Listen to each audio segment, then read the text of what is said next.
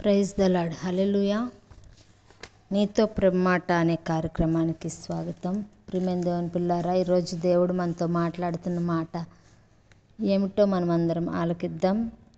స కవచము. మనము ఎటువంటి కవచము ధరించుకొని ఉండాలి అనే విషయాన్ని మనం నేర్చుకుందాం.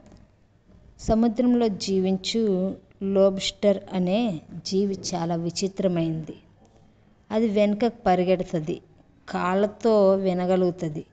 పాదములతో రుచి చూస్తుంది. దాని కడుపులో ఉన్న పళ్ళతో ఆహారాన్ని నములుతుంది.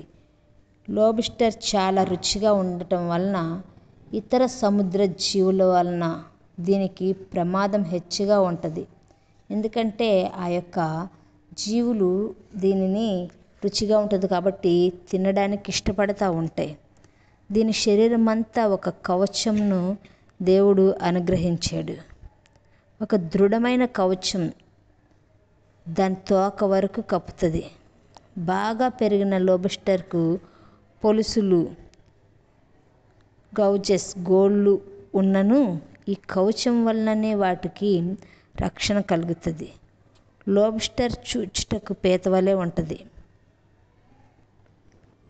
దేవుడు మనకు కూడా ఒక రక్షణ కవచమును అనగా తలకు శిరస్రాణము చేతిలో డాలు చే ఛాతికి కవచము నడుమునకు దట్టి కాళ్ళకు పాదరక్షకులు ఇచ్చాడు. వీటి వలన శక్తివంతమైన సాతాన్ నుంచి మనకు రక్షణ లభిస్తుంది. పౌలు భక్తుడు సర్వాంగ కవచం ధరించుకోండి అని చెప్పారు. మనము సర్వాంగ కవచం ధరిస్తే సాతాన్ యొక్క కుతంత్రం నుండి తప్పించుకోగలం. దేవుడు ఇచ్చిన ఈ రక్షణ కవచమును మనం ధరించి ఉండాలి. వీటికి తోడుగా విశ్వాసం అనే డాలు పట్టుకోవాలి.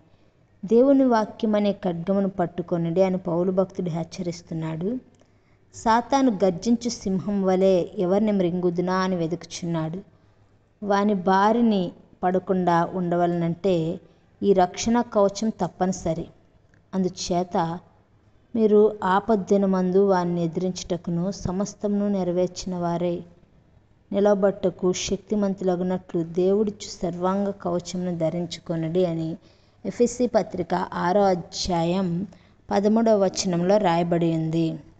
ప్రిమైన దేవుని పిల్లారా మనము దేవుడు మనకు కూడా ఒక రక్షణ కవచం ఇచ్చాడు కదా ఏమిటి అంటే ఎఫ్ఎస్సి ఆరు పదమూడులోని మనం చూస్తే దేవుడు మనకి ఒక రక్షణ కవచాన్ని ఇచ్చినట్టుగా కనపడుతుంది. అయితే శిరస్రానం మన తలకి మన యొక్క తలలోని వ్యర్థమైన ఆలోచనలు ఏమీ రాకుండా మనకు శిరస్రానము ఆయన ఒక కవచాన్ని ఇచ్చాడు. చేతిలోని డాలు మన చేతితోని అపవాది వచ్చినప్పుడు మనకిచ్చిన డాలుతో జయించాలి. వాడు మన దగ్గరికి వస్తూ ఉంటాడు. వచ్చినప్పుడు దేవుడు మనకిచ్చిన ఆ చేతికి డాలు చేత దాన్ని జయిస్తూ ఉండాలి. ఛాతికి కవచం. కవచము అది మన హృదయంలో వచ్చి చోటుకొని చోటు చేసుకొని ఉండిపోవాలనుకుంటాడు సాతాను. అప్పుడు వాడు రాకుండా మన ఛాతికి కవచం దేవుని యొక్క వాక్యం అనే కవచాన్ని మనం ధరించుకోవాలి. మన హృదయంలో ఏసయ్య ఉండాలి. ఏసై ఉంటే మన యొక్క ఛాతికి కవచము అట్లాగే మన నడుమునకు దట్టి దేవుని యొక్క వాక్యము అనే దట్టి మన నడుమునకు అవసరం. వాక్యం అనే దట్టి మనం కట్టుకోవాలి. అప్పుడు మనము నిలబడగలం కూర్చోగలం నడవగలం ఏదైనా చేయగలం.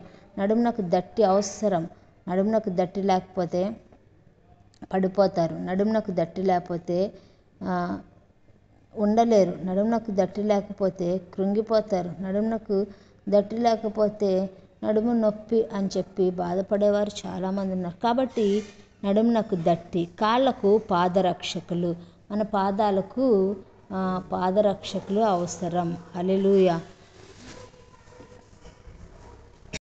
మన పాదాలకు చెప్పులు ఎలా వేసుకుంటామో అలాగే ఆ చెప్పులు ఉండడం వల్ల ముళ్ళు గుచ్చుకోవు. ఆ చెప్పులు ఉండడం వల్ల రాళ్ళు తగలవు. ఆ చెప్పులు ఉండడం వల్ల గచ్చ పొదల్లో నడవగలము కాబట్టి దేవుని వాక్యము మనకు ఆ విధంగా ఉంటే కనుక ఎట్ ఏ మార్గంలోనైనా ప్రయాణించగలము. కవచం మనకి దేవుని వాక్యము కవచం వలె ఉండాలి. హల్లెలూయా. అది ఎలాంటి కవచం? మన శిరస్సు మన యొక్క శరీరమునకు హెల్మెట్ మన శిరస్సుకు హెల్మెట్ వలె ఉండాలి. హెల్మెట్ ఇప్పుడు పెట్టుకుంటాం కదా అట్లా. మన మన చేతిలో డాలు వలె ఉండాలి దేవుని వాక్యం. అలాగే మన ఛాతికి కవచం వలె ఉండాలి మన నడుమునకు దట్టి వలె ఉండాలి మన కాళ్ళకు పాదముల వలె ఉండాలి.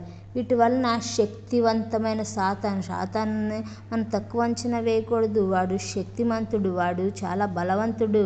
వాడు దేవుని దగ్గర దేవుని దగ్గర అందరి దూతల కన్నా ప్రధాన దూతగా పనిచేసిన వాడు. వాడు త్రోయబడ్డాడు. వాడు బలవంతుడే. వాడు అందగాడే. వాడు మ్యూజిషియన్. అయితే అటువంటి శక్తివంతమైన సాతాన్ నుంచి మనకు రక్షణ లభిస్తుంది. ఎప్పుడంటే దేవుని వాక్యం మన దగ్గర ఉన్నప్పుడు. పౌలు భక్తుడు చెప్పినట్టుగా సర్వాంగ కవచం మనం ధరించుకోవాలి. అలెలుయ కాబట్టి సర్వాంగ కవచము మనం ఎప్పుడైతే ధరిస్తామో అప్పుడు సాతాన్ యొక్క కుతంత్రాల నుండి తప్పించుకోగలుగుతాం. ఈ విధంగా మనందరము దేవుని యొక్క సర్వాంగ కవచం ధరించుకోవడానికి ఇష్టపడదాం. ఈ కొద్ది మాటలు దేవుడు మనందరి హృదయాల్లో నీరు కట్టి ఫలింపచేయనుగాక ఆమెన్. ప్రైజ్ దల్లడు ప్రార్థన చేద్దాం. పరిశుద్ధ పరమ తండ్రి మీకు వందనాలు. మీకేమిచ్చిన రుణము తెచ్చుకోలేము తండ్రి. సర్వాధికారివి సర్వోన్నతుడివి ఉన్నతుడివి పరిశుద్ధాత్మదేవ మీకే మీకే వందనాలు చెల్లిస్తున్నాం తండ్రి. కృప కలిగిన దయమా మీరు సహాయం చేయండి. సహాయకుడా మీరు సహాయం చేయండి.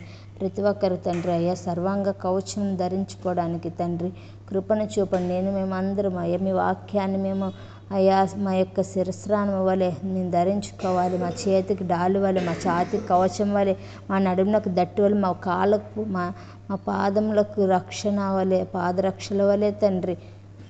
ఉండాలి ప్రభు వాటి కృపను మీరు అనుగ్రహించమని అడుగు వీటన్నిటిని మేము ధరించుకొని శక్తివంతమైన సాతాన్ని ఎదిరించడానికి మీ యొక్క శక్తి మాకు అవసరం కాబట్టి మీ వాక్యం అనే శక్తి నేను మేము ధరించుకోవడానికి కృప చూపి మహిమ తెచ్చుకోమని అడుగుచు. యేసు నామంలో చిన్న ప్రార్థన అడిగి వేడుకొని పొంది నామ తండ్రి. Amen. Praise the Lord God bless you all.